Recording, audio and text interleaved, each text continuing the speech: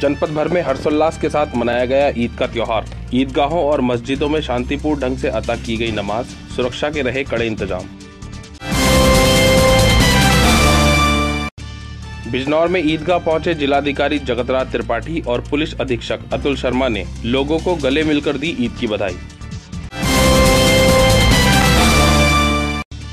ईद के मौके पर बिजनौर के बख्शीवाला में बिजली और पानी गुल होने से फूटा लोगों का गुस्सा।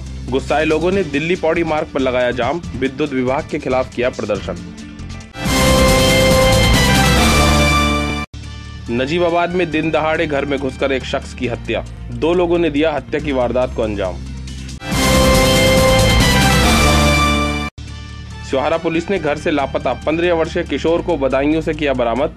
किशोर की बरामदगी से पुलिस ने ली राहत की सांस।